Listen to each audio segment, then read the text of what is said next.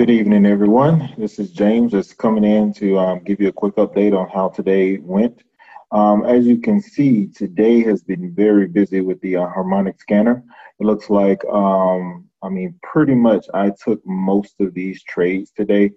Um, and again, where as a few days ago, there weren't, there didn't seem like there were that many available patterns to trade. Today definitely made up for it. So um, with all that being said, here are today's results.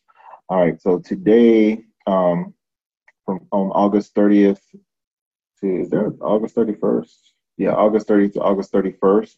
Um, I've got I've had a gain of 25% in my account um, for a total of total profit of $2,255 today, and the majority of those were from the harmonic scanner trades.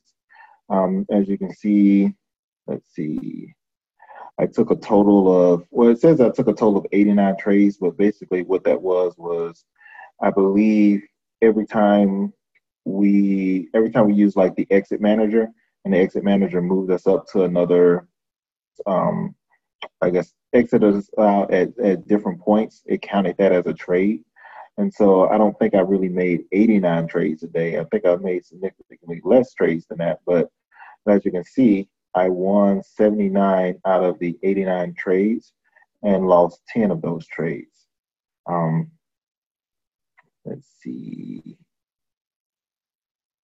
Put this spotlight on. Um, I have some open trades right now. Um, these are swing trades that came through earlier. And so I'm just waiting for them to actually go into some type of profit. Um, and finally, you can look at our like the, the history and you can see, well, there were a few trades that I actually took today that I was trying to actually draw out support and resistance on my own.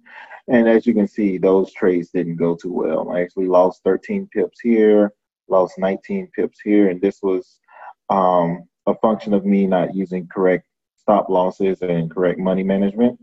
But um, I wanted to see could I draw my own support and resistance and actually um, trade without the harmonic scanner. But for now, I'm going to go back to the harmonic scanner and just focus on trading with it because it actually seems to work really well. Um, as you can see, um, I'm making actually held on for a few of these trades a little bit longer. Um, typically, I get into a harmonic scanner trade for about four pips and then let the Ninja, I mean the Exabox take, take over. Um, but there are a few trades I actually modified the exit manager to not just take the four pips, but actually go a little bit further in profit. And you can see the results of those today. So all in all, um, this was a great day. I want to see if I can replicate this on tomorrow. Um, but that being said, uh, let me know if you guys have any questions. Um, again, this is very inspirational, letting me know that the the harmonic scanner is back and I'm actually able to catch these trades. Um, so other than that, I'll talk to you guys soon.